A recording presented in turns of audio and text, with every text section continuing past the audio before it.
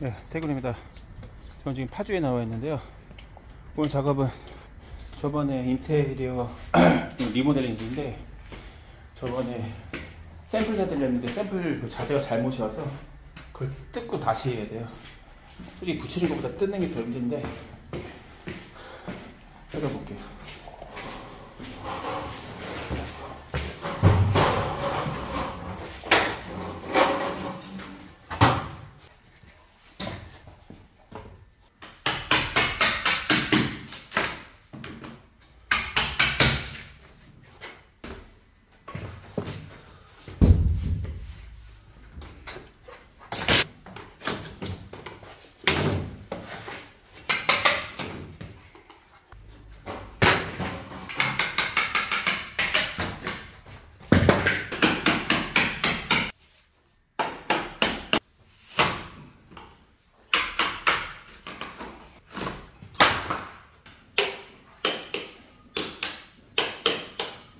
이 하나까지가 없네.